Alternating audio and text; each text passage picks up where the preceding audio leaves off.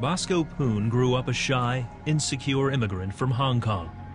He longed to fit in somewhere, and a Chinese gang drew him in. They introduced me to a world that was so foreign to me um, weed, uh, ecstasy.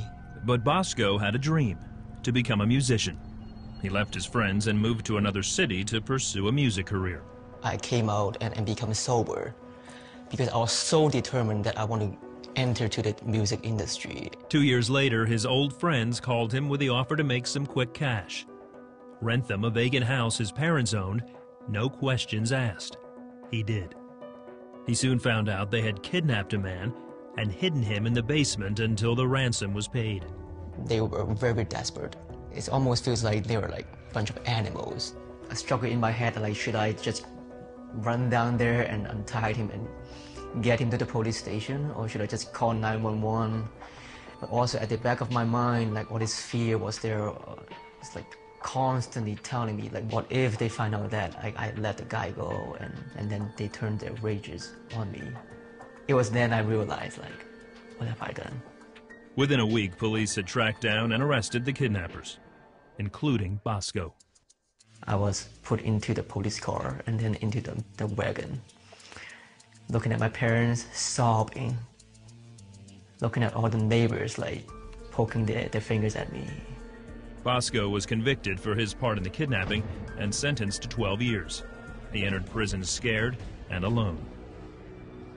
I was like, I don't know how can I survive in here. It was full of violence, drugs, depravity, broken hearts, pain, screaming, crying. So I did a lot of time to reflect on stuff, which I never did before. The reality of a situation hit him hard. I was sobbing, crying out to God. I was like, Lord, are you real? well, if you are real, can you talk to me? Because I have nobody else. And then this scripture came to me. Jesus says, I'm always with you until the end of the age. I claimed that scripture. I was like, Lord, talk to me if you're real, because I really need someone to talk to right now. My heart was fully ready to receive God and to have a real relationship with Him. Bosco surrendered his life to Jesus. A few weeks later, while in prayer, he had an incredible vision. I saw a cloud of great white light coming down from heaven and then this light just getting closer and closer till it, it reaches into my heart.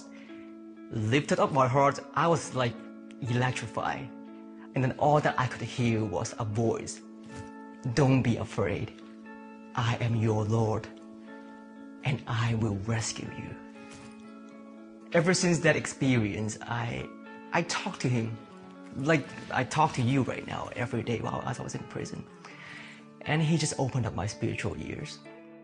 He has experienced the power of God in his life. Something changed in him that caught him on fire. He was always talking to somebody about the Lord or coming into my office and saying, Can we pray for so and so? The Lord challenged me one day to pray for my enemies.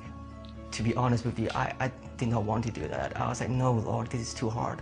But he was like, no, take my love and do it. My love is so much bigger than yours. Just, just, just focus your eyes on me and, and just try to do it. And, and when I did that, even though with tears stream coming down from my eyes while I was praying for all my enemies, I find freedom. So God rescued me from that as well. Rescue me from hatred. Bosco served four years behind bars. He is out of prison on parole. Today, he's surrounded with a new group of friends, including Canadian singer and songwriter Marika and Christian recording artist Brian Doerksen. He shares his testimony and music with others, hoping they will meet Jesus as he did.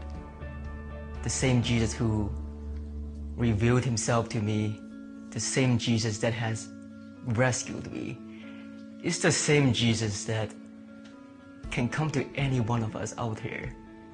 I only live for Jesus because he saved me, he gave me life. He showed me so many things. He's the source of my life. And he's my Lord and my Savior.